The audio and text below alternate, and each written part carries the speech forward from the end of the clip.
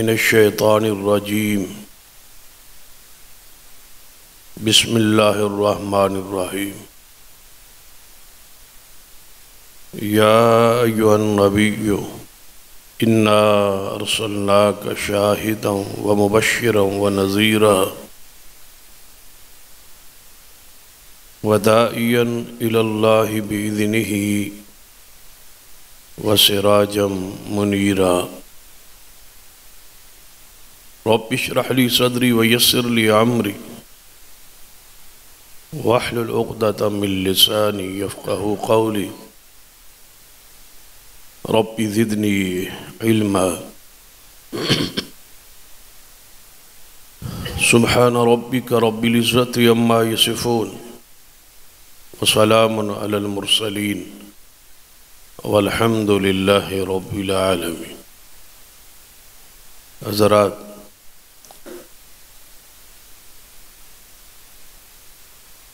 जड़ी आयत मुबारक खुतबा मसनूना अंदर पड़ी है इसकी रोशनी अंदर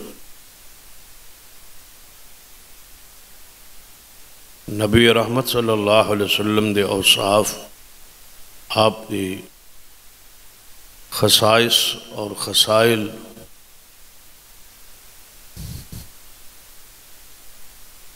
का बयान जारी है। इसी आयत मुबारक के हवाले नल गुजश्ता कई खुतबात अंदर। गुजारशात हुई।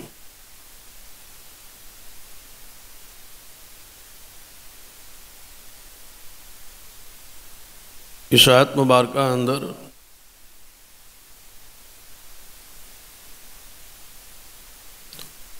तकरीबन आठ सिफात नबी सलाम दी बयान हुई।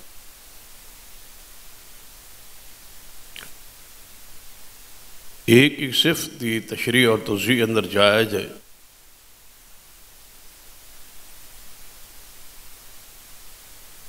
इसलिए ये किताब दरकार।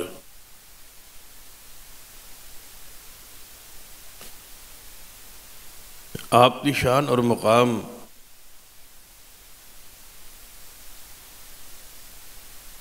द बयान जो है वो किसी इंसान की बस की ही बात नहीं।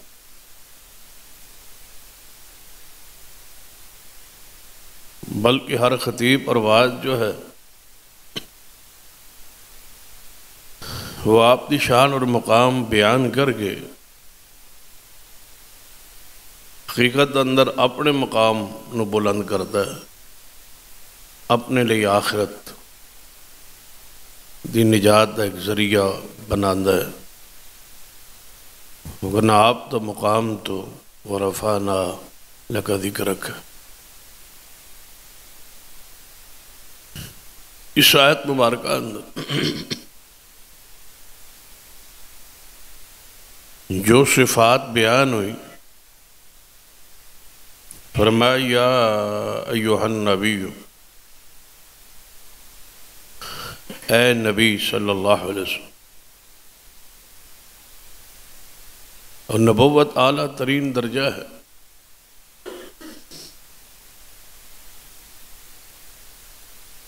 और मंतखब अहदा है। इससे बड़ा दर्जा रसूल का है। रसूल के बाद नबूवत का दर्जा है। जिन उलमा के नज़दीक नबी और रसूल में फ़र्क लेकिन जो रसूल होता है, वो नबी तो ज़रूर होता है। तो दोनों सिफात एक ही आयत और एक ही जुमले के अंदर बयान हुई, या अयोहन नबीयो इन्ना अरसल्लाक क्या महबूब सल्लल्लाहु अलैहि वसल्लम? हमने आपको भेजा है। हमने आपको ये शान बख्शी है और ये मुकाम दिया है। यानी जितनी भी आपकी सिफात ने, वो अताई है। अल्लाह की तरफ़ से अता करता है। और याद रखें, अल्लाह अपनी सिफात मखलूक किसी को अता नहीं करता। ये हो ही नहीं सकता। यह उसका कानून और जबता ही नहीं है कि वह अपनी सिफात बांटे और तकसीम करे और किसी मखलूक में से किसी को दे।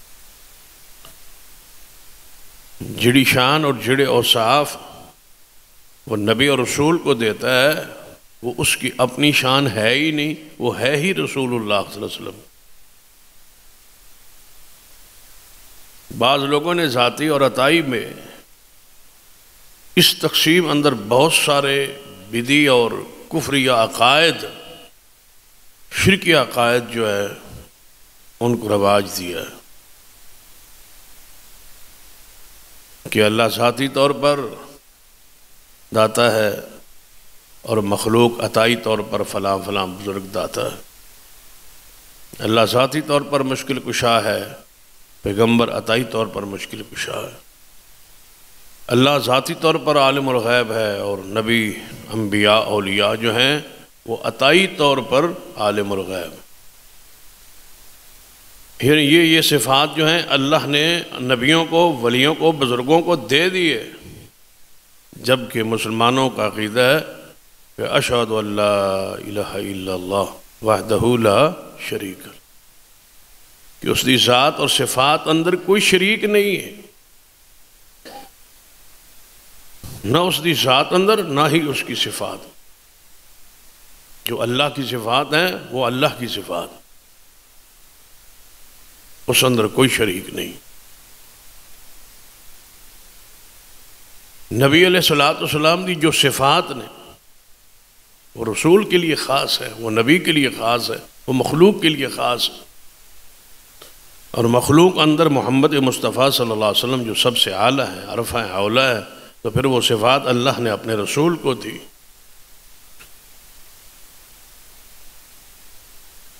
तो अल्लाह ताला ने सारे कुरान जहाँ जहाँ नबी सलाम की सिफात का ज़िक्र है, उसकी नस्बत अल्लाह ने अपनी तरफ़ फरमाई कि ये शान मैंने दी है, मैंने ये मुकाम दिया है। यानी जो सिफात हैं, वो अल्लाह की अता करता है, लेकिन वो रसूल की सिफात है, वो नबी की सिफात है। अल्लाह की सिफात जो है, अल्लाह उनको तकसीम नहीं करता, उनको नहीं देता मखलूक को कि मैं भी हूँ और आप भी साथ आ जाए। ऐसी बात। तो नबी सलाम की जितनी सिफात ने, जितना मुकाम है, अल्लाह तबारक वाली ने उसका ज़िक्र कुरान पागी फरमाया, लेकिन नस्बत आपने वल फरमाई, इन्ना आतना कल कौसर। आपको हमने साकी कौसर बनाया है, हौज कौसर बख्शा है, ये हमने बख्शा और अलग रख आपके ज़िक्र को हमने बुलंद किया वाला सोफ़ ही होती का रब्बो का वतरज़ा हम इतना कुछ दे देंगे कि आप राज़ी हो जाएँगे। वमारसल्ला का रहमत आलमीन, हमने आपको सारे जहानों के लिए रहमत बनाया है। सुबहान अल्लदी असरा ही अल्लाह ने, वो पाक है जिस अल्लाह ने अपने बंदे मोहम्मद मुस्तफ़ा को सैर करवाई है। फरमाई ये सारी शान और मकाम और अल्लाह की तरफ़ इसकी नस्बत है कि अल्लाह ताला ने ये शान दी है और मकाम बख्शा है। तो फरमाया, या यो नबी इन्ना अरसल्लाक। ए नबी सल्लल्लाहु अलैहि वसल्लम, हमने आपको भेजा है। हमें भेजने वाले। आप खुद दावेदार नहीं हैं। आपने खुद दावा नहीं किया। वैसे ही नहीं, कोई दिल में ख्याल है जिस तरह हिरकल ने पूछा था, अबू सुफियान रज़ी अल्लाह बादशाह था तो उसने सवाल किया, अबू सुफियान रज़ी अल्लाह ये सवाल उस वक्त हो रहा है जब वो मुसलमान नहीं है। कि जिस मोहम्मद सल्लल्लाहु अलैहि वसल्लम ने थोड़े इलाके नबूवत का दावा किया है, क्या उसकी नस्ल में, उसके बड़ों में अबाव अजदाद में कोई बादशाह रहा है? अबू सुफियान रज़ी अल्लाह तो फरमान लगे कि नहीं, कोई बादशाह नहीं रहा। अचानक उसने पहली मरतबा, उसने पूरे ख़ानदान, हमारे सामने वो जवान हुए उनके आबा अजदाद को हम जानते हैं, उनका और हमारा रिश्ता है। कोई बादशाह नहीं रहा उनमें। तो हिरकल ने यह बात कही थी कि अबू सुफियान, अगर उनकी अबाव अजदाद कोई बादशाह होता तो फिर तो ख्याल ऐसी कि ये इकतदार लेना चाहता है, अपने अबाव अजदाद की तारीख को दोबारा दोहराना चाहता है। तो जब उसकी पूरे ख़ानदान में, अबा अजदाद में कोई बादशाह नहीं रहा तो इतना बड़ा दावा आज खुद वो कैसे कर सकता है? या यो नबी इन्ना अरसलनाक। हमने भेजा है आप। ये मकाम हमने दिया है, रसूल हमने बनाया रसूल खुद दावा नहीं करता, नबी खुद दावा नहीं करता। जितने झूठे मुदयान नबोवत आए, सबने खुद खुद दावा किया। नबी अलैहिस्सलाम ने फरमाया, ख़बरदार मेरे बाद तीस के करीब दज्जाल कज्जाब आएँगे तो सारे ये कहेंगे, दावा करेंगे, उनका जोम होगा, उनका ख्याल होगा कि हम नबी हैं। याद रखना, मेरे बाद कोई नबी नहीं आए। नबोवत जो है, ये कोई कसबी अहदा नहीं है कि मेहनत करके, कोशिश करके कमा लिया जाए, बना लिया जाए, उस दर्जे पर चढ़ जाए बंदा। ये वाह भी है, अल्लाह की अता है। जिसका इंतखब अल्लाह करे। अल्लाह जानता है कि मैंने रसूल किसको बनाना है। अहले मक्का ये कहा करते थे ना कि ताइफ और मक्का दो इन बड़े शहरों में क्या मोहम्मद मुस्तफ़ा सल्लल्लाहु अलैहि वसल्लम के अलावा कोई और नबूवत के लिए अल्लाह ने नहीं चुना? उसकी वजह क्या है? बड़े बड़े ऊँचे ख़ानदान के लोग थे बड़े बड़े सरदार थे बड़े बड़े वजाहत वाले लोग थे। एक यतीम का इंतखब क्यों हुआ? तो अल्लाह ताला ने जवाब दिया कि ये तुम्हारा इख्तियार तो नहीं है, ये तो मेरा इख्तियार है। जिसको मैं चाहूँ, पसंद करूँ और जिसको चाहूँ, रिसालत का, के लिए इंतखब करूँ फरमाए, ये तो मेरा इख्तियार है ना, मैं जानता हूँ कि रिसालत को मैंने कहाँ रखना है। मैंने पूरी इंसानियत के दिलों को देखा है। सबसे पकीदा दिल ही मोहम्मद मुस्तफ़ा का था सल्ला ऐसा नहीं इंतखब हुआ। ये हसब नसब की बुनियाद पर नहीं है, ये अल्लाह की रहमत और उसका इंतखब है। फिर मैं अल्लाह बेहतर जानता है, अल्लाह से ज़्यादा जानता है कि रसूल मैंने किसको बनाना है? या यो नबी यो इन्नार सल्लाक ए नबी मोहम्मद सल्लल्लाहु अलैहि वसल्लम, हमने आपको भेजा है।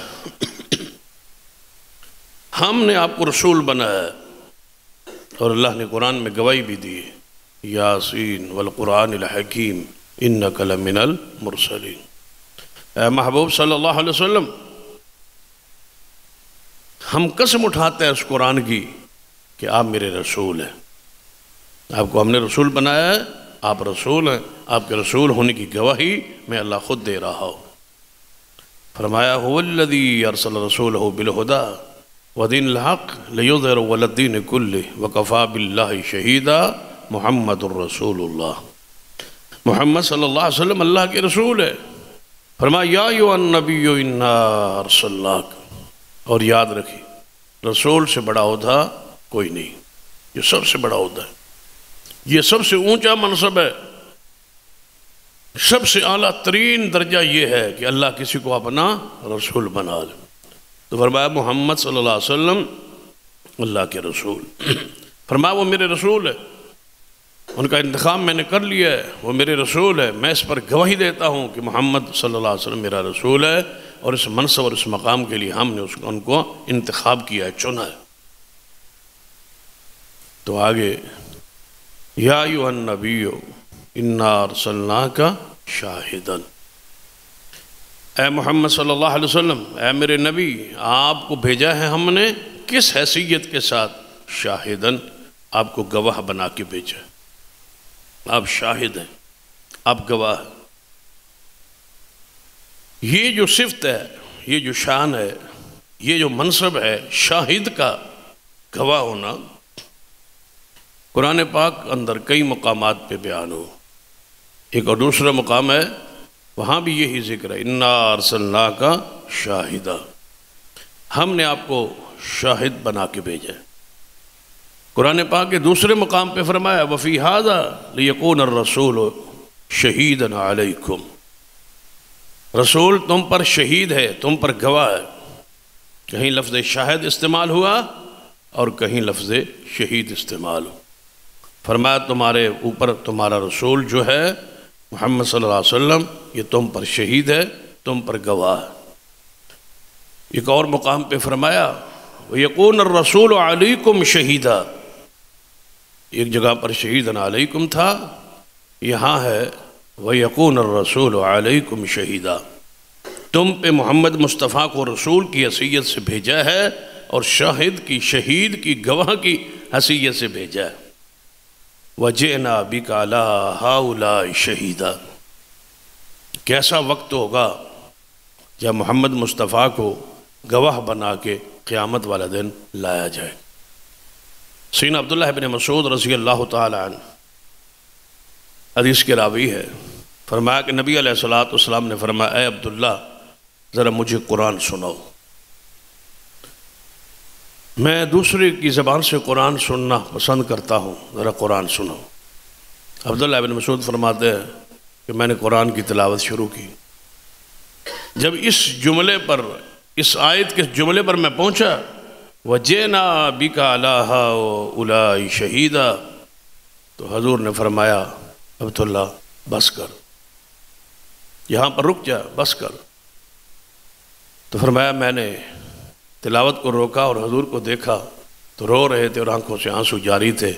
वो कैसा वक्त होगा जब मोहम्मद को हम गवाह बना के लाएँगे? सल्लल्लाहु तो रसूलुल्लाह साहब रोक रहे आगे कुरान पाक को सुनना आपके लिए मुश्किल हो रहा है। बर्दाश्त से बाहर हो रहा है। फरमा यहाँ रुक जाओ और रो रहे हैं कि क्या वो वक्त होगा जब सारी कानात खड़ी होगी? और हम मोहम्मद मुस्तफ़ा सल्लल्लाहु अलैहि वसल्लम को गवाह बना के, शहीद बना के, गवाह बना के लाएँगे। ये एक ख़ास वाक़ है, जिसकी तरफ़ इस आयत के अंदर इशारा है। और उन लोगों का रद्द है, जिन लोगों का नज़रिया शहीदा और शाहिदन के लफ्ज़ से, जिन्होंने गलत माना, मारूफ करने की कोशिश की। उनका नज़रिया ये है कि शाहिदन का माना गवाह तो है। लेकिन इसीलिए मौलाना आमरजा खान बरेलवी मकतबा फ़िक्र की जो बानी है मुआसिस है, उन्होंने इसका ये माना, शाहिद और शहीद का माना गवाह नहीं किया। उनका तर्जमा है कुरान पा का कंजुल ईमान। उस अंदर उन्हें इस जुमले का माना जो है वो हाजिर नाजिर किया है कि हमने आपको हाजिर नाजिर बनाकर भेजा है। ये माना उन्होंने बदलने की कोशिश की।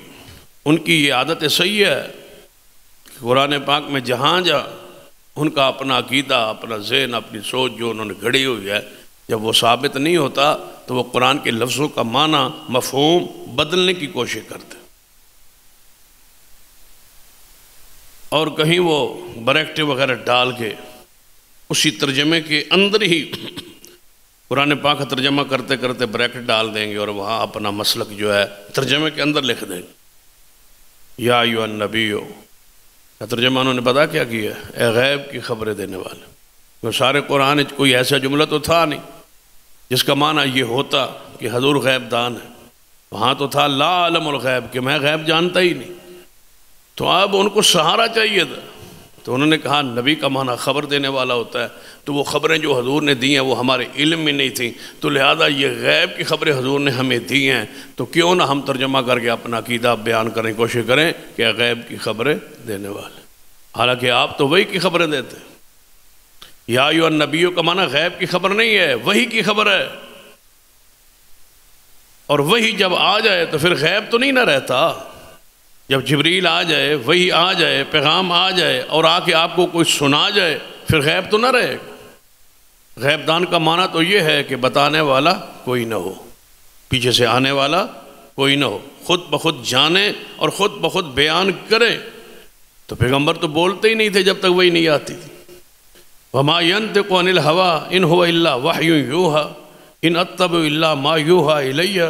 मैं करता वही हूँ जो वही आती है, मैं बोलता वही हूँ जो कुछ वही आती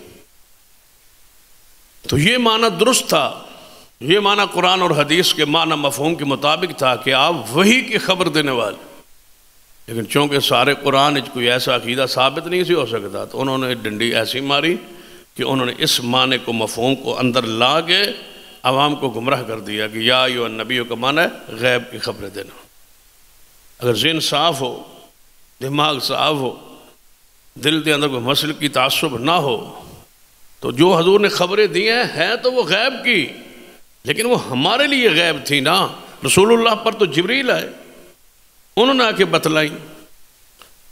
तो उन्होंने इस माने को बिगाड़ने की पूरी अमानत ध्यान से कोशिश यहाँ भी यही मासूरत हाल है शाहिदन का माना हाजिर नादिर शहीद का माना हाजिर नादिर क्यों?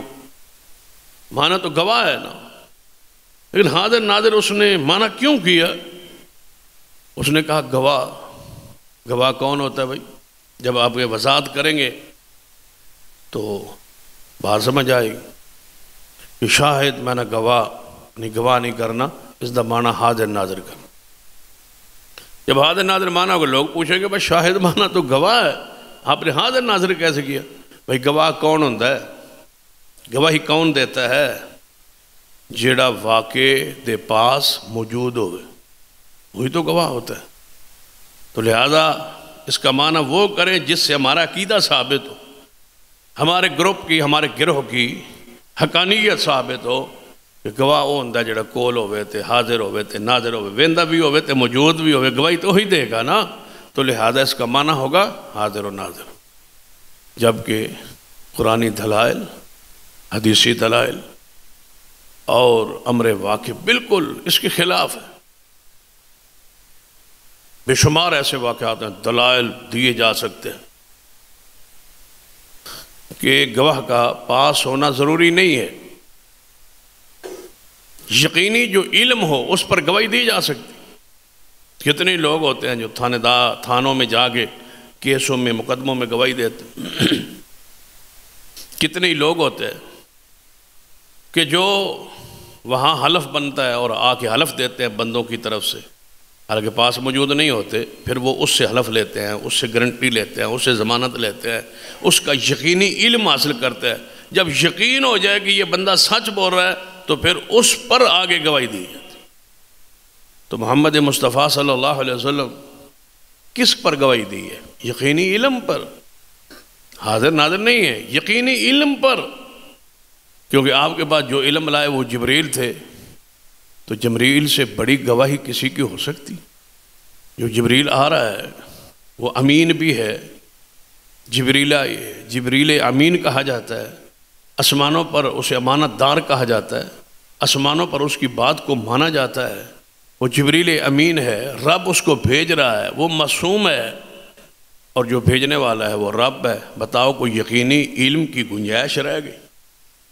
इस पर मोहम्मद मुस्तफ़ा वसल्लम ने आगे गवाही दी कि जो कुछ मेरे पास आया, यकीनी इल्म है। मैं जो कह रहा हूँ, सच कह रहा हूँ। नबी सलाम कितनी ही चीज़ों को बयान किए, इस गवाही की बुनियाद। मसलन, आप ज़रा सोचे, ज़रा पीछे जाएँ कि नबी सलाम अल्लाह ताला की ज़ात के बारे में। अल्लाह को देखा नहीं है। लेकिन अल्लाह की ज़ात के बारे में गवाही दी। बड़े बड़े मुलहिद लोग थे बड़े बड़े मुनकर लोग थे बड़े बड़े मादाप्रस लोग थे बड़े बड़े दाहरिया थे। एक मोहम्मद मुस्तफ़ा सल्लल्लाहु अलैहि वसल्लम है, जिन्होंने अल्लाह की ज़ात पर गवाही दी। कि अल्लाह की ज़ात है और अपने अर्श पर बुलंद है और दुनिया की कोई आँख उसको देख नहीं सकती, उसको आपने मानना है। तो क्या आपकी गवाही पर साहबा ने माना या नहीं माना? सिर्फ़ गवाही दी नहीं, हज़ारों बंदे गवाह बना के मोहम्मद मुस्तफ़ा ने खड़े कर दिए। कि सिर्फ़ मैं ही गवाही नहीं दे रहा, मेरी गवाही पर आगे गवाही देख ले सहाबा ने गवाही दी। क्या वो सारे हाजिर नाजिर हो गए? सहाबा की गवाही पर ताबीन ने गवाही दी। क्या वो सारे हाजिर नाजिर हो गए? ताबीन की गवाही पर तबा ताबीन ने गवाही दी। क्या वो सारे हाजिर नाजिर हो गए? ये गवाही चलते चलते हम तक पहुँची। आज मुआजन पाँच मरतबा कहता है अशाद अल्लाह मैं गवाही देता हूँ, मैं शाहिद हूँ कि अल्लाह के अलावा कोई मबूद नहीं है। मुझे बताओ, क्या हर मुआजन हर जगह हाजिर नाजिर होता है? शाहिद तो है, गवाही तो दे रहा है। ये यकीनी इल्म की बुनियाद पर गवाही मोहम्मद मुस्तफ़ा से चली है और आज तक जारी है और क़्यामत तक जारी रहेगी। ये वो गवाही। इसके अलावा नबी सलाम अल्लाह की ज़ात पर, उसकी सिफात पर, वही पर कि मेरे पास जबरील आता है। मेरे पास वही आती है, जबरील आता है। आप ज़रा सोचें, ज़रा तस्वुर करें कि जबरील मुझ पर आता है, मेरे पास वही आती जब वही आती थी तो साहबा पास बैठे होते थे। जबरील की आवाज़ साहबा को नहीं आती थी। जबरील बोल रहा है, कुरान पढ़ रहा है, हजूर से मुखातब है, बातें कर रहा है। वही आ रही है, वही की कैफियत तारी है। आपके सीने अतहर पर कुरान का नजूल जारी है। कई दफ़ा जबरील तो इंसानी सूरत में आए, साहबा ने भी देखे। लेकिन जब असली सूरत में आए तो साहबा ने नहीं देखे। हजूर को आवाज़ आ रही है उसकी पढ़ी हुई अल्फाज आयात जो है सीना रसूल में जमा हो रही हैं, रिकॉर्ड हो रही हैं। तो आपने फरमाया, अभी अभी मेरे पास वही आई थी, जबरील आए थे। मजाल है, किसी साहबी ने कहा हो कि, या रसोल्ला हम भी तो पास ही बैठे थे। कब जबरील आए? कब आपसे बात हुई? उसने जब बोला, बात की है तो आपने सुन लिया, हमने नहीं सुना। किस साहबी ने कभी एतराज़ नहीं किया, इसलिए कि मोहम्मद बहुत बड़े शाहिद गवाही देते आपकी गवाही यकीनी इल्म पर है। नबी सलाम ने सबसे पहले ईमान लाए अपने नबी होने पर। क्या ख्याल? अपने आप पर भी तो यकीन होना ज़रूरी है ना? जबरील आ गए, पैगाम दे दिया, पढ़ी अल्लाह के नाम से। आप अल्लाह के रसूल हैं, आपको अल्लाह ने मंतखब कर लिया है। दूसरे को बंदा तब बताता है जब खुद यकीन हो। तो नबी वसल्लम सबसे पहले आमन रसूल बिमाउन सबसे पहले उस चीज़ पर ईमान मोहम्मद मुस्तफ़ा लाए जो हमने मोहम्मद मुस्तफ़ा की तरफ़ नाजिल किया। ख़ुद आपने यकीन किया कि मैं अल्लाह का रसूल हूँ। इसमें कोई शक नहीं कि मुझे अल्लाह ने रसूल बनाया है। मुझ पर जो नाजिल अब फरिश्ता आ रहा है, ये जबरील है। मुझ पर जो कुरान आ रहा है, ये कुरान है, ये आयात है। और मैं वाकई अल्लाह का रसूल हूँ। अचानक, माँ तदरी मल किताब ईमान। कुरान दे अल्फाज ने मोहम्मद मुस्तफ़ा सल्लल्लाहु अलैहि वसल्लम, जबरील के आने तक आप नहीं जानते थे किताब क्या होती है, ईमान क्या होता। आपने तो कभी सोचा भी नहीं था। तस्वर भी नहीं भी आया था, कभी दावा ही नहीं किया था। कभी निजी महफल में किसी प्यारे से, किसी महबूब से, किसी घर वाले से बयान किया हो कि मैं रसूल बनने वाला हूँ? नहीं। जब पहले दिन जबरील आए हैं तो आप तो काँप रहे थे। आप तो फरमा रहे थे, जम्मी लो नहीं, जम्मी लो, मुझ पर कंबल पाओ, डालो, मुझ पर कंबल डालो। मुझे अपनी जान का ख़तरा महसूस हो रहा है। फिर सईदा खदीजा के पास आती है, वो हौसला देती हैं। फिर वरक़ा बिन नौफल के पास वो ले जाती वरक़ा बिन नौफल ने जब आपको देखा, जो हज़रत खदीजा के चचाजाद भाई थे जब उन्होंने सारी हाल आलिम थे, पढ़े लिखे आदमी थे, जब उन्होंने देखा तो कहा, ये जो कुछ तुम्हारे पास आया है ना, ये वही है जो पहले नबियों के पास जबरील आता था। काश एक वक्त आएगा, मैं उस वक्त ज़िंदा हूँ और देखूँ कि आपको इस मक्का शहर से निकाल दिया जाए। रसूल हैरान हो रहे थे। मुझे अल्लाह ने मुझे लोग निकालेंगे। फरमाया हाँ जो तुझ जैसी दावत लाए, उसके साथ यही कौम कर, सलूक करती। आपको निकाला जाए। ये इल्म की बुनियाद पे कह रहा है, मुताले की बुनियाद पे कह रहा है, तजर्बे की बुनियाद पर कह रहा है। पहले अम्बिया की तारीख और सीरत को सामने रख के वरक़ा बिन नौफल ये बात कह रहे। तो मोहम्मद मुस्तफ़ा सल्लल्लाहु अलैहि वसल्लम पहले ये यकीन किया कि मैं नबी हूँ, मैं अल्लाह का रसूल। पहले ख़ुद अपने आप पर, अपने रसूल होने पर। हजूर भी पढ़ते थे ना, ला इलाहा इल्लल्लाह मोहम्मद रसूल। किसका कलमा पढ़ते थे? अपना। आप ही तो नमाज़ में कहते थे ना अशाद वाशाद मोहम्मद अब्दू व रसूल तो नबी अलैहिस्सलाम सबसे पहले अपने नबी होने, रसूल होने पर यकीन। और जबरील के जबरील होने पर यकीन, उसकी ख़बरों पर यकीन लाए। फिर जाके बना फरमाया बोलियास इन्नी रसूलुल्लाह इलैकुम जमिया। है सारी दुनिया के लोगों, अल्लाह ने मुझे तुम्हारी तरफ़ रसूल बना के भेज दिया है। तो आप शाहिद हैं। किस किस चीज़ की आपने गवाही? ये जो तुम्हारे अमाल है, ये लिखे जा रहे हैं। जो कुछ तुम कहते हो, जो कुछ करते हो, ये लिखा जा रहा है, रिकॉर्ड हो रहा है। पहले तो शायद दुनिया मानती, ना मानती, लेकिन अब तो ये चीज़ आसान हो गई। क्या एक सिम में, छोटी सी एक सिम में क्या सारी चीज़ें पूरा डाटा महफूज नहीं होता। महफूज होता। हमारे सामने वो बड़ा होता है, सब कुछ रिकॉर्ड हो रहा है। तो आपके इलम में है कि जो रीढ़ की हड्डी छोटी सी सिम के बराबर होती है, ये कब्र में भी दफन भी कर दी जाए तो इसको ये नहीं है गलती, ये उस तरह महफूज है। तुम्हारा पूरा डाटा इसी सिम में, इसी मेमरी इस रिकॉर्ड में महफूज है। और क़्यामत वाले दिन इसी हड्डी से फिर जोड़ा जाएगा और सारा रिकॉर्ड खुल के तुम्हारे सामने आ जाए। एक ही चीज़ महफूज हो रही। फरिश्ते अमाल लिख रहे हैं, वो अलग चैप्टर है, फरिश्ते लिख रहे हैं। दाएँ बाएँ फरिश्ते मौजूद है।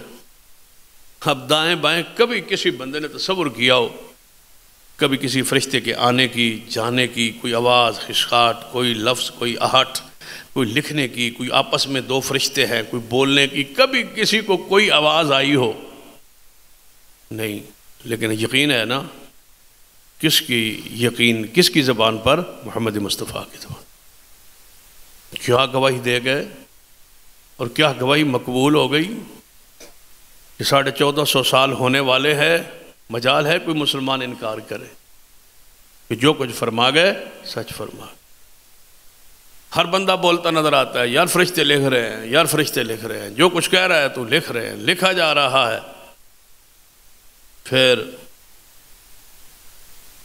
आलम अरवाह पे ज़रा गौर कीजिए। तब तो आपको सब मजाए कि शाहिद किसे कहा जाता ये कोई मामूली सिफत नहीं है। जिसे हम बिल्कुल आराम से आगे गुजर जाते हैं कि आप शाहिद हैं। गलत माना चढ़ा के कि आप हाजिर नाजर हैं। आप हर जगह मौजूद हैं, हर जगह देख रहे हैं।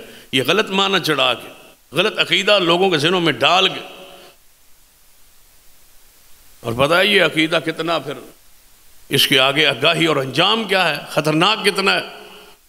जब आप, आपने हजूर को हर जगह हाजिर नाजिर कह दिया, हर जगह हाजिर नाजिर कह दिया तो फिर मुझे बतलाओ कि हजूर की इज़्ज़त और इसमत और किस तरह महफूज रहे। हर जगह का कमाना क्या है? कुछ चीज़ें ऐसी होती हैं जो पब्लिक में, आवाम में बयान नहीं हो सकती कुछ अदाब के तकाजे हैं, कुछ हालात के तकाजे हैं। शान मुस्तफ़ा सल्लल्लाहु अलैहि वसल्लम का ये पहलू है। आपने तो आदर नादर कह दिया है कि आप हर जगह आदर नादर है, हर जगह देखते हैं। तो फिर आपने हजूर सलाम की क्या शान? बढ़ाई है, ये घटाई है, ये कम की है। कभी सोचा है आपने ये क्या हो रहा है? ये क्या क्या आ जा रहा है? बंदा तो बड़ा खुश फहमी है कि मैं शान बयान करने की इंतहा कर देती हजूर, हर जगह हाजिर नाजिर। ये हाजिर नाजिर होना, ये हजूर की शान के खिलाफ। हर जगह देखना, हर वक्त देखना, हजूर की शान के खिलाफ। हजूर की इज़्ज़त के, हजूर की अजमत के, हजूर की इसमत के खिलाफ है। ये शान मुस्तफ़ी के खिलाफ है। कि हजूर हर वक्त, हर जगह देखे, ये हजूर की शान के खिलाफ है। न कभी किसी साहबी ने दावा किया, न कभी हजूर ने दावा किया। कभी नबी अलैहिस्सलाम ने फरमाया, मैं आपके घर देख रहा हूँ। अगर इस तरह समझ नहीं है तो बिल्कुल आसान जी, सादा जी मिसाल देता हूँ। क्या हजूर की साबियात हजूर से पर्दा नहीं करती थी। थोड़ी सी बात जो होते तो सारी सीरत जो है, सारी ज़िंदगी जो है, इस पर क्यास कर लें। नबी सलाम पूछे, उलमा से और हाजिर नादर कहने वालों से कभी बैठक हो, मजलिस हो तो पूछे कि क्या हजूर से हजूर की सहाबियात पर्दा करती थी या नहीं करती? सारे कहेंगे पर्दा करती थी। मुझे बताओ, जो हर जगह हाजिर नाजिर हो, उसे पर्दा हो सकता है? मुमकिन है।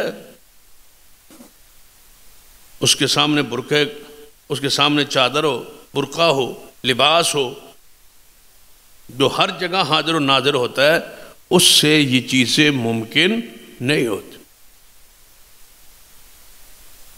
कोई औरत, कोई बहन, बेटी कहती है कि मैंने पर्दा किया इसलिए कि अल्लाह मुझे ना देखे। कभी कभी दावा किया है वो किससे पर्दा करती है? कि मुझे कोई गैर बंदा ना देखे, कोई आलिम ना देखे, कोई बुज़ुर्ग ना देखे, कोई नेक बंदा ना देखे, कोई दूर, दूरा बुरा बंदा ना देखे, मुझे गैर मारम ना देखे। इसलिए पर्दा होता अगर इस समझ नहीं आई तो हदीस की तीन किस्में ये सारे तलबा जान। तकरीरी होती है, कौली और फेली होती। जो हजूर ने किया, वो कौली। जो हजूर ने कहा, वो कौली हदीस है। जो आपने अमल किया वो फेली हदीस और जो कुछ हजूर के सामने हुआ और आप देख रहे हूँ और हजूर उस पर चुप रहे, खामोश रहे, ना बोले, ना रोके तो वो क्या होती है? हदीस तकरीर। तो आप बताएँ, अगर हजूर हर जगह हाजिर और नाजिर अब भी मौजूद है तो फिर जो कुछ अमाल हो रहे हैं और हजूर उन पर नहीं रोकते, नहीं बोलते तो वो क्या हुए? हदीस तकरीरी और मुझे बताओ कौन सा गुना है जो हदीसी तकरीरी में शामिल नहीं हजूर तो हर जगह हजर नाजर मोह क्या माना कर दिया है आप? किताब सुनने से कितना हट गए हैं आप? ये इस जुमले का ये माना नहीं है। कुरान पाक ने इसकी नफ़ी की है। नबी सलाम कि फिर सा हिजरत का और आपकी पूरी वही का एक पूरा शरीयत का मिजाज ही बदल जाएगा या कुरान पढ़े तो कुरान अंदर दो किस्म की सूरत है। हर सूरत के ऊपर लिखा होता है, मक्किया या मदनिया। कि ये सूरत मक्की है और ये मदनी है। इसका क्या माना? कि ये सूरत मक्के में नादिल हुई और ये मदीना में नादिल अगर आप हर जगह, हर वक्त मौजूद होते हैं तो फिर मक्की और मदनी की तकसीम कैसे होगी? फिर तो तकसीम नहीं हो सकती ना। मक्का में भी थे, मदीना में भी थे। जब मदीना में थे तो मक्का में भी थे। जब मक्का में थे तो मदीने में भी थे। जब ज़मीन पर थे तो आसमान पर भी थे। फिर मिराज का क्या माना रह जाएगा मिराज तो सिरे से ही ख़त्म हो जाएगी। ऊपर भी हैं और नीचे भी हैं। हर जगह हाजिर भी हैं, हर जगह नादिर भी हैं।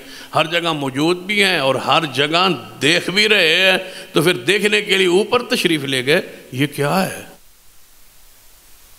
कुरान तो कहता है लेनूरी यहू मिन आयात ना हमने ऊपर बुलाया ताकि अपनी निशानियों को दिखाएँ। कुरानी नस है। लेनूरी यहू मिन आयातिना, अपनी निशानियों को दिखाने के लिए हमने मोहम्मद मुस्तफ़ा को ऊपर बुलाया। तो जब आप हर जगह मौजूद थे और हैं तो फिर ये ऊपर जाने का तस्वुर क्या है? जबरील आते कि आपको ऊपर ले जाना है तो आप फरमाते मैं ऊपर भी होता हूँ, नीचे भी होता हूँ। ऊपर भी देख रहा हूँ, नीचे भी देख रहा हूँ। हर जगह मौजूद होता हूँ, हर जगह हाजिर नाजिर होता हूँ। अल्लाह के बंदो, ये माना नहीं है। बंदे की ज़िंदगी के दो पहलू हैं, एक लोगों के सामने और एक घर की ज़िंदगी है, खलवत की ज़िंदगी। जो हर जगह हाजिर नाजिर हो, बताओ, ज़रा तड़पो और बतलाओ और सोचो कि ये अकीदा कहाँ जा रहा कहने को ये जुमले बड़े आसान हैं, लेकिन इसकी हकीकत गहराई में जाएँ। बंदा खलवत में घर में मौजूद है और इस बंदे का अकीदा क्या है कि हजूर हर जगह देख रहे हैं और हर जगह मौजूद है। तुफ है तुम्हारे सोच पर और इस अकीदे पर। कुरान के ख़िलाफ़ है, हदीस के ख़िलाफ़ है, अक़ल के ख़िलाफ़ है, शरीयत के ख़िलाफ़ है, कुरानी दलाल के ख़िलाफ़ है, हदीसी दलाल के ख़िलाफ़ है। शाहिद के लफ्ज़ से ये माना लेना गुमराही है। शाहिद का माना होता है गवाह। और गवाह का हर वक्त हर जगह मौजूद हो के गवाही देना, ये नहीं है। ज़रा पीछे जाए। हम आलम अरवा में रहे। जब दुनिया में नहीं थे तो कहाँ थे आलम अरवा? वो रूहों का एक जहान है। अब सोचे, बड़ी बड़ी अहदीस है कि रूह आपस में वहाँ मिलते हैं। मिलते भी हैं, जुलते भी हैं। जहाँ इनका वहाँ तारफ़ हो, यहाँ भी तारफ़ हो जाता है, जहाँ के वहाँ पहचान हो, यहाँ भी पहचान हो जाती। तो वो क्या है फिर? वो आलम क्या है? वो जहान क्या है? जितना सोचोगे, उतना ही कोई चीज़ समझ नहीं आएगी। आखिर पे फैसला यही कहो करोगे कि अल्लाह सच्चा है और उसका रसूल सच्चा है सलाह जो उन्होंने बयान किया है, उनका इल्म यकीनी है। हजूर ने जो बताया, वही वाला इल्म है, वो यकीनी है, उनकी गवाही पर गवाही है। उनको जबरील ने बताया, उनको रब जलील ने बतलाया, मोहम्मद मुस्तफ़ा ने सारी कैनात को बतलाया, आपके ज़रिए उम्मत तक ये इल्म पहुँचा कि आलम रवा है और उसकी हकीकत है, हमारा उस पर ईमान है, हम उसका इनकार नहीं करते। एक आलम रोया है, ख्वाबों का जहान। भला कोई है जो इनकार करे? रात सोता है, बंदा कहाँ कहाँ से होके आता है? ऐसा मुमकिन है? कभी मोटरसाइकिल पे सफ़र, कभी कार पे सफ़र, कभी बड़ी गाड़ियों पे सफ़र, कभी जहाज़ पे सफ़र। चलो, अपनी तो समझ आती है जरा नाल जहाज़ होता है वो समझ नहीं आती जहाज़ किसका है? चला कौन रहा है? उड़ा कौन रहा है? बंदा उड़ता जा रहा है जी। जहाज़ के अंदर बैठा है, और ख्वाब में किस कंपनी का जहाज़ है? कौन उड़ा रहा है? ये सारा कुछ आलम रोया में बंदा देख रहा है। सवेरे उठ के, क्या आप गवाही नहीं देते कि रात को मैंने ख्वाब देखा है? दूसरा बंदा कहे कि मैं भी तो आपके पास ही पड़ा था। मैं भी तो इसे कमरे च ही सा बिल्कुल नाल सा, तू कितने जहाज़ा से उड़ता रहा तो एवं झूठ बोली जाना लेकिन आप नहीं मानेंगे, आप कहेंगे, नहीं नहीं, ऐसा हुआ है, क्योंकि ये तुम्हारे साथ पेश आया है। अगर तुम्हारे साथ आलम रोया का मामला पेश आए तो तुम्हारा उठ के बताना हक है। तो क्या मेरे मोहम्मद का बयान करना हक नहीं है? फिर आलम अरवा भी हक है। फिर आलम रोया भी हक है। ख्वाब का आलम जहान हक है। कितने हैं ख्वाबों के? बल्कि कुरान, दीन की बहुत, कई चीज़ें ख्वाबों पर हैं। सूरह यूसुफ सारी ख्वाबों की ताबीर है। कुर्बानी का आगाज़ ख्वाब से हुआ, अजान का आगाज़ ख्वाब से हुआ। कई चीज़ें हैं जिसका ताल्लुक़ ख्वाब के साथ लेकिन ये तो रसूलों का ख्वाब है, मोहम्मद मुस्तफ़ा के ख्वाब हैं जो सच्चे हैं, हमारे लिए भी ख्वाब। नबी अलैहिस्सलाम फरमाया, अब मैं दुनिया से जा रहा हूँ, लेकिन सच्चे ख्वाब क़्यामत तक रहेंगे, आते रहेंगे। या तुम्हें ख़ुद नज़र आ जाए, या तुम्हारे बारे किसी और को नज़र आ जाए मुहदसिन के ख्वाब है उम्मत के ख्वाब है नेक लोगों के ख्वाब हैं, सालहीन के ख्वाब हैं। उन पर किसी अकीदे की बुनियाद नहीं रखी जा सकती, लेकिन ख्वाब तो ख्वाब है, हकीकत तो है, उसका इनकार तो नहीं किया जा सकता। पैगंबर का ख्वाब दीन है, उज्जत है, शरीयत है, मासूम है। नबी के अलावा हर बंदे का ख्वाब गलत भी हो सकता है, ठीक भी हो सकता है, और उसको मानना ख्वाब की हद तक ठीक है। उसका इनकार नहीं हो सकता। क्योंकि कुरान ने कहा है, अला लाखौफ़ वलाम यासनून अल्लजीन आमन वक़ान यत्तकून फ़िल हयात दुनिया फ़िल आखिरा। अल्लाह नेक बंदों को दुनिया में बशारतें देता है, और इस आयत के ताद हदीस बुखारी है कि दुनिया में बशारतें ये है कि अल्लाह किसी बंदे को नेक ख्वाब दे दे। अच्छा जू माना, प्यारा, कोई ख्वाब आ जाए। इस पर एक अलग बास है, उसकी तरफ़ नहीं जाते। शाहिद का माना मैं कर रहा था। कि शाहिद का माना गवाही है। नबी अलैहिस्सलाम ने गवाही दी। कितने ही नबी अलैहिस्सलाम ने जो हैं मसाइल को बयान फरमाया। कितने ही पुलसरात आप देखे, हजूर ने फरमाया, पुलसरात है। चलो आलम रोया से निकले, आलम बरज़क की तरफ़ जाते। अगर रोया हक है तो फिर आलम बरज़ का इनकार क्यों? कितने लोग हैं जो बरज़ की ज़िंदगी की इनकारी कि बरज़ में ज़िंदा कैसे हो सकता है? भाई, वो ज़िंदगी एक है। तुम्हारे इल्म से, तुम्हारे शूर से वो बाला है, लेकिन है सही। अगर दुनिया में रह के अल्लाह तुम्हें दो जिंदगियाँ दे सकता है, एक नींद, एक बेदारी की ज़िंदगी और एक ख्वाब की ज़िंदगी। ख्वाब की ज़िंदगी अलग ज़िंदगी नहीं बंदा क्या क्या देखता है और अच्छे और बुरे ख्वाब भी देखता है और फिर बुरे ख्वाब के असरात भी होते हैं। वजूद पर अचानक बच्चा उठ के डर के बैठ जाता है, बंदा चंगा भला होता है तो उठ के डर के बह जाता है। वह क्या हुआ ख्वाब? वो ख्वाब है यार, फिर भी डर रहा है सहम रहा है। उस ख्वाब के असरात भी हैं इस पर। बाद दफ़ा ऐसा होता है कि बंदा गुसल वाजिब हो जाता है ख्वाब में। तो आप बताएँ ज़रा कि उसकी हकीकत है या नहीं? उठ के तो गसल वाजिब है, अमली तौर पर वाजिब है। उठ के आपको नहाना फ़र्ज़ हो गया। नमाज़ नहीं होगी, जब तक नहाएँगे नहीं। बंदा का नहीं वो ख्वाब थी। ख्वाब के एक जहान को तुमने कबूल किया है ना? उसमें होने वाले अमल को तुमने कबूल किया है ना? तो अगर वही रब आलम बरसख में मौत के बाद बरसख की एक ज़िंदगी दे बरज़ख में अजाब दे, बरज़ख में सवाब दे, कब्र का अजाब दे, कब्र का सवाब दे तो आप उसके इनकारी क्यों हो सकते हैं? तुम तो दुनिया में रह के दो ज़िंदगी को मान रहे हो। अल्लाह बिस्म कामो तो वाहिया सोते हो ये मरते हो, लेकिन मौत की हालत में क्या क्या देखते हो तो अगर ये हक है तो फिर बरसक क्यों मामला को क्यों नहीं मानते? जब मैं कहा करता हूँ, बस एक जुमला ही काफ़ी है। बाकी सारी चीज़ें बाद में। सबसे बड़े गवाह कौन है? मोहम्मद मुस्तफ़ा यानबीन्ना का शाहिदन। ए महबूब सल्लल्लाहु अलैहि वसल्लम, हमने आपको बनाया शाहिद गवाह। जिन जहानों को समझ नहीं आती, वहाँ के गवाह मोहम्मद मुस्तफ़ा आपके पास यकीनी इल्म है, आपने बता दिया। और सारी ज़िंदगी, ये सारे फितने जो हैं, बाद में साहबा कराम के दौर में नहीं था। ताबीन, तब ताबीन महदसिन आयम कराम के दौर में ये चीज़ें नहीं थी। मजाल है, किसी साहबी ने कहा या रसूल अल्लाह वसलम आलम बरदख समझ नहीं आता तो आलम अरवा समझ नहीं आता तो यह किमें है? वो लोग बकरियों के चरवाए थे, ऊँटों के चरवाए थे, उम्मीजीन थे। मैं तो सिर्फ़ उम्मीजीन ही कहा करता हूँ। इसका माना जो हमारी ज़बान में होता है, वो अनपढ़ होता है। मैं तो ये बड़ा शकील लफ्ज़ है साहबा के लिए। नहीं इस्तेमाल करता। मैं तो कहता हूँ, सारे साहबा पढ़े हुए थे। उम्मी थे बस वो लफ्ज़ कह दें जो कुरान ने कह दिया, बस। साहब कराम एक होंगे चलो एवं समझ नहीं आई ना, शायद कोई बंदा जज्बाती हो जाए तो तुम दो एक लफज बोल दो आंदा, मैं पढ़े होया तो नहीं, लेकिन मैं गुड़े होया है वहाँ। वो जो गुड़े होता है ना, बस वो जान ले।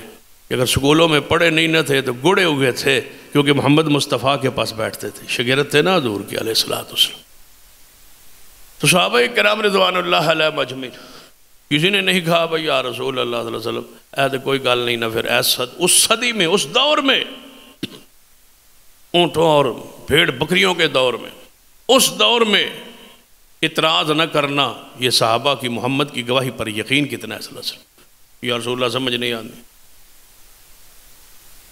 आलम बरज़ है, आलम कब्र है, पूरा एक जहान है। कब्रें खुल जाती हैं, हमें नज़र नहीं आती। ये सब कुछ होता है, कब्र में अजाब भी होता है, सवाब भी होता है। मुर्दा उठ के बहता है, बैठता है, उससे हिसाब होता है, सवालात होते हैं, वो जवाब देता है, गलत दे या सही दे फिर उसको जहन्नम का और या जन्नत का बिस्तर उसके लगाया जाता है या जन्नत की खिड़की खोल दी जाती है, या जहन्नम का कब्र को गड़ा बना दिया जाता है, वहाँ चीखता चिल्लाता है, सांप और बिच्छू उस पर मुसलत होते हैं, लेकिन हमें नज़र नहीं आता। हम जब कब्र खोलते हैं, दोबारा खोलनी पड़े तो वैसे का वैसे वो मुर्दा पड़ा होता है। हमारी न सुनता है, न जानता है, न देखता है, लेकिन एक पूरे जहान में होता है। पूरे जहान में। इसी तरह, दुनिया में भी ऐसा ही है। हमारे सामने बंदा सोया हुआ है। हमारे सामने सोया हुआ है, वो हिलता नहीं, जुलता नहीं, ज़्यादा। सोया हुआ है ना, न बोलता है, न खाता है, न पीता है, ना ही अपने आप उठ सकता है, न चल सकता है, न फिर सकता है, न सुन सकता है। लेकिन हमारे सामने जीते, जागते हम पास बैठे हैं और वो आल ख्वाब में, आलम रोया में, एक अलग जहान में है। अगर दुनिया में सो के हमारे सामने नज़र ना आए और वो अलग जहान में फिर रहा हो तो क्या कब्र में हमें नज़र ना आए और अलग जहान में फिर रहा हो? यहाँ ईमान है और यहाँ इनकार क्यों है? वो भी हक है, ये भी हक है। इसलिए कि गवाही देने वाले मोहम्मद मुस्तफ़ा ने गवाही दी है और वो इन अरसल्ला का शाहिदन के मुकाम पर फायज। वो जो फरमाते हैं, सच फरमाते अब नबी सलाम ने एक जुमला कह दिया जो सैर बुखारी में है। फरमा अजाबुल्कब्र हक बस। यहाँ आँखें बंद हैं। यहाँ सोच हमारी बंद है। हजूर ने फरमाया, लोगों, कब्र का अजाब हक है। कब्र में अजाब होता है। बस रसूल अल्लाह वसल्लम ने फरमाया कि इन दो कब्र वालों को अजाब हो रहा है। और हजूर ने फरमाया सात माह बिन माज पर कब्र तंग हो गई है। नबी अलैहिस्सलाम ने फरमाया, अगर मैं दुआ करना चाहता था, मैं दुआ करना चाहता था कि अल्लाह मेरी उम्मत को कब्र का अजाब दिखा दे लेकिन मैंने दुआ नहीं की। अगर कबूल हो गई और तुमने देख लिया तो तुम अपने मुर्दों को दफन करना ही छोड़ दोगे। इसलिए मैंने दुआ नहीं की। लेकिन महबूब, तुम्हारी दुआ तो आपने नहीं फरमाई। आपने कह दिया, फरमा दिया कि कब्र बाजाब हक होता है। हमें उसी तरह यकीन है, जिस तरह हमें जनाब कुरान पर यकीन है, उस तरह मोहम्मद मुस्तफ़ा की हदीस पर यकीन है। हजूर ने जो फरमाया, सच फर। अदाबुल्कब्र हक़ आगे बढ़ी इस जहान से ज़रा निकलिए बरदक से उठिए। बरदक से निकल के फिर मैदान माशर में जाइए वो उठ के जहान है, वो खड़ा होने वाला जहान है, वहाँ दोबारा उठ के जाना है। उस जहान में जाके तो फिर तो माने ना, वहाँ पुल सरात है भाई। उस पुल सरात जो है, वो आपने सुना भी होगा कि वह बाल से बरीक है। तो वो बाल से बरीक हो और पुल हो और बाल से बरीक हो और उस पर से गुजरना हो। तो अब अकल कौन? नहीं तो नहीं ना मानता। इसी तो कहते हैं अलविलामीम ज़ालिकल किताब लारे बफ़ी दलमतकीन अल्लदीन युमिनून बिलगैब यही गैब पर ईमान है। इस मोहम्मद मुस्तफ़ा ने फरमाया, बिन देखे मानना, यही मोहम्मद मुस्तफ़ा की इतात है। समझ के मानना कौन सी इतात है? समझ आए तो मनागे समझ, ना आए तो नहीं मनागे पुलसरात है। हजूर ने फरमाया, है है। नबी अलैहिस्सलाम ने फरमा कुरान ने कह दिया, अलवदन यौम दिन हक, क़ियामत वाले दिन अमाल का वज़न होगा। कुरान ने कह दिया, अमाल को तोला जाएगा, वज़न होगा। नबी सलाम कलमतान हबीबतान रहमान। सकीलतान फिल्मीदान खफीफ़तान लसान। सुबहान अल्लाह वबहमद ही सुबहान अल्लाज़ीम दो कलमे अल्लाह को प्यारे हैं, रब को प्यारे हैं, वज़न ज़बान पे बड़े हल्के हैं, वज़न वाले दिन क़्यामत वाले दिन हल्के होंगे, और बड़े वज़नी और भारी होंगे। और रसूल वसल्लम ने फरमाया, एक ला इल्लल्लाह, ऐसा वज़नी होगा कि ननानवे दफ्तर गुनाहों के भरे हुए दूसरे पलड़े में होंगे, ये एक जुमला सब पे भारी होगा। हजूर ने फरमाया हूँ अमाल किमें तुलन गए तो कलमा के में तुलेगा, इस पर जना फिरका बना के बैठ जाए, गिरोह बना के बैठ जाए, किताबें लिखना शुरू कर दें, अकल नहीं मानता। पता नहीं पता नहीं है आपको, बताया किसने? या यो नबी यो इन्ना का शाहिदन। जो रब से हम कलाम हुए। या यो नबी इन्ना का शाहिदन। जिन्होंने जबरील को अपनी आँखों से देखा। याबी इन्ना का शाहिदन, जिन्होंने पहाड़ों के फरिश्तों से ख़ुद कलाम की। याबी इन्ना का शाहिदन, जिनको रात को उठाया गया बैतुलमुक़द्दस ले जाया गया। सारे अम्बिया से मुलाकात करवाई गई। या नबी इन्ना का शाहिदन, जिनके लिए आसमान तक सीढ़ी लगाई गई, मेराज लगाई गई। सुबहान अल्लदी असरा दे फिर आसमानों पे ले जाया गया। रब से हम कलाम हुए, फिर जन्नत के दरवाजे खोल दिए गए, हजूर को जन्नत में दाखिल कर दिया गया। जन्नत के मनाजर दिखाए गए, वापसी पे जहन्नम के मनाजर अजाब होते हुए लोगों को देखा। फिर वापस तशरीफ़ लाए, जो ज़मीन पर भी रहे, आसमानों पर भी गए, जन्नत भी देख के आए। वो हैं या का शाहिदन ए प्यारे हबीब जनाब मोहम्मद सल्लल्लाहु अलैहि वसल्लम हमने आपको गवाह बना के, शाहिद बना के भेजा है। सारी चीज़ें आपको दिखा दी हैं। जो नहीं दिखाई, उनका इल्म यकीनी दे दिया गया है और बतला दिया गया है, महबूब तुम्हारी गवाही, तुम हो शायद जो तुम्हारी गवाही नहीं मानता, हम उसको मोमिन नहीं मानते। वो आपकी गवाही नहीं मानता, हम उसको मोमिन नहीं मानते। आपकी गवाही पे फैसला हो। आखिरी बात, क़्यामत का दिन होगा। सरवर कैनात जनाब मोहम्मद आपने अरसाद फरमाया, क़्यामत दिन होगा। सारे अम्बिया मुसलम तशरीफ़ लाएँगे। जब सारे तशरीफ़ लाएँगे तो अल्लाह ताला पूछेगा, ए मेरे नबियों, ए मेरे प्यारे रसूलों, नबियों की जमात, ये ये कौम में तुम जिनकी तरफ़ तुम्हें मबूस किया गया, भेजा गया, इन्होंने तुम्हारी बात क्यों नहीं मानी? सारे अम्बिया कहेंगे, या अल्लाह, हम गए थे। हमने तबलीग का हक अदा किया, हमने दावत का हक अदा किया, लेकिन इन्होंने हमारी बात को नहीं माना। अल्लाह ताला पूछेगा, सारी कौमों से इतने प्यारे, इतने मासूम, इतने बेदाग, मासूम अम्बिया इतने हुसैन व जमील अम्बिया मैंने तुम्हारी तरफ़ भेजे। क्यों नहीं तुमने इनकी बातों को माना? क्यों ना फरमानी की तुमने? सारी कौमें कहेंगी अल्लाह ये अंबिया गए ही नहीं। ये तो गए ही नहीं है। दुनिया में जुटलाना तो और बात था क्यामत को भी जुटलाएँगे या अल्लाह, ये नबी अंबिया हमारी तरफ़ नहीं आए। अगर आए हैं तो गवाह लाएँ। ये गलत कह रहे हैं ना उसबिल्ला अगर गए हैं तो गो गवाह लाएँ।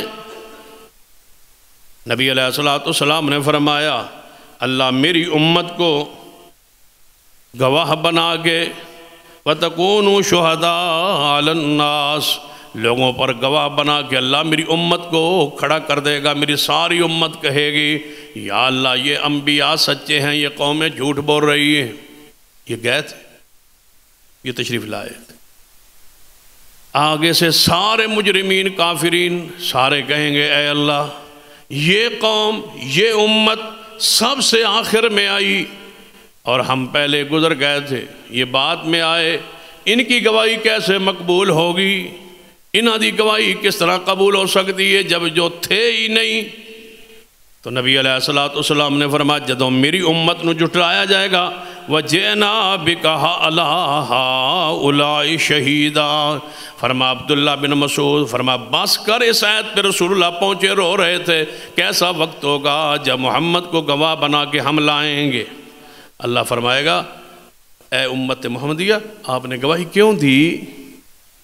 अब तो बाद में आए। या अल्लाह हमारी तरफ़ कौन गए थे? या यो नबी या अल्लाह, हम गवाही क्यों दे रहे हैं कि आदम सच्चे हैं नू अलैहिस्सलाम सच्चे हैं, इब्राहिम सच्चे हैं, मूसा सच्चे हैं साल अलैहिस्सलाम सच्चे हैं, हूद अलैहिस्सलाम सच्चे हैं, शुएब अलैहिस्सलाम सच्चे हैं, ये सारे अम्बिया सच्चे हैं, ये कौमें झूठ बोल रही हैं। हम किसकी गवाही पर गवाही दे रहे हैं? हम पास नहीं थे, हम हाजिर नहीं थे, हम नाजिर नहीं थे, हम पास मौजूद नहीं थे, लेकिन गवाही क्यों दे रहे हैं? या यो नबी यो इन्ना का शाहिदन।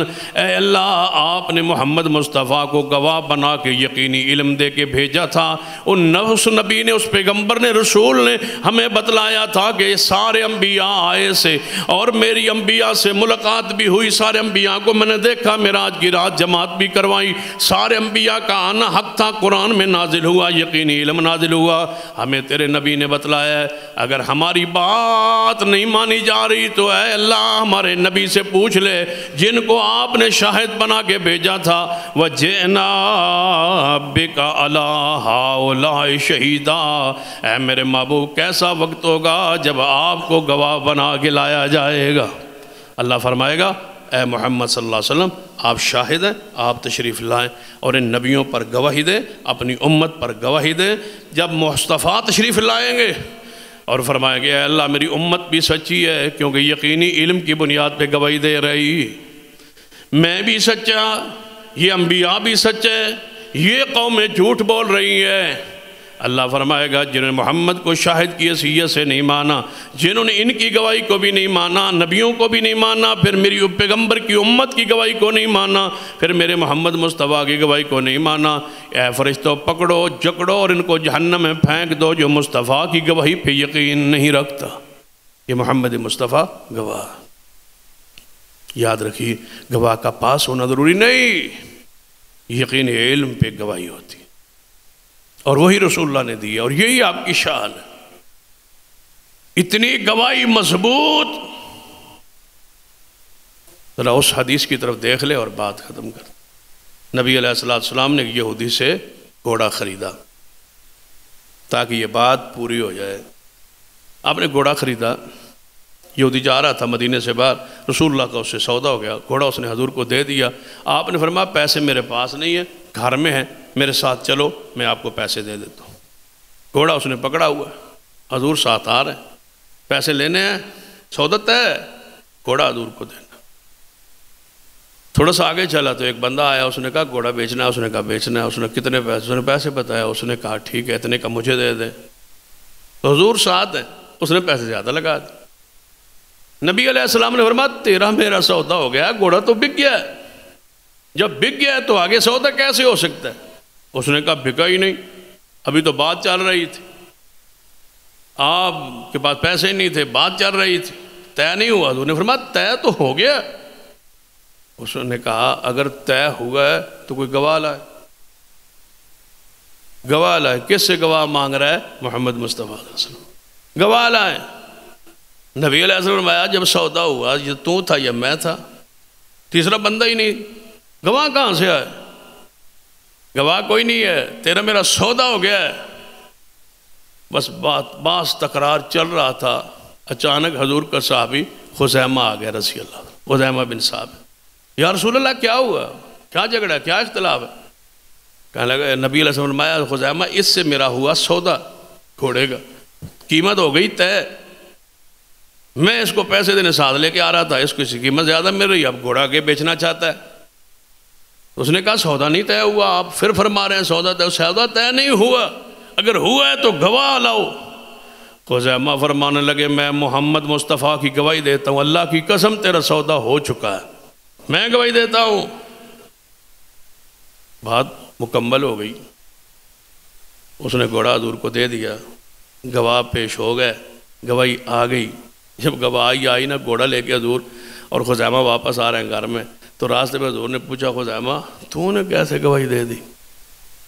तू तो पास ही नहीं था। गवाह तो हाजिर होता है, नाजिर होता है, पास होता है, मौजूद होता है। तूने गवाही कैसे दी?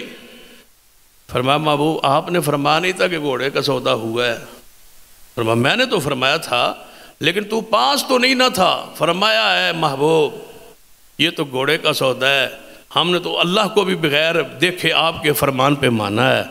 और बहुत कुछ हजूर आपके कहने पर माना है। ये तो थोड़ी गवाही है, इससे बड़ी गवाही महबूब आपके इल्म पर, आपकी वही पर, आपके फरमाने पर, कौल पर, हदीस पर दे चुके हैं। इसकी क्या हैसियत है? आपने फरमाया, मेरे साहबा, सुन लो, आज के बाद खुजैमा जिस मुकदमे में गवाही के तौर पर पेश होगा, इसके एक बंदे की गवाही दो गवाहों के बराबर होगी। ये इसका मुकाम है ये इसकी अजमत। ये है, या नबी अरसल्ला का शाहिदन। आइंदा खुतबे में से आगे, व मुबशर व नज़ीरा पे गुफ्तु होगी। अकूल को लिहाजा वस्तफ़ल वलक वसाल